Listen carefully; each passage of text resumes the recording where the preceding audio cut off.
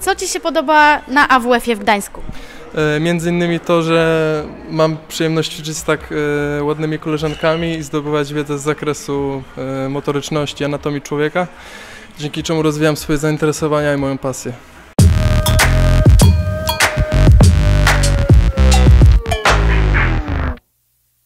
Bardzo fajnie, naprawdę. Realizuję wszystkie swoje pasje, poświęcam się tutaj ładnie.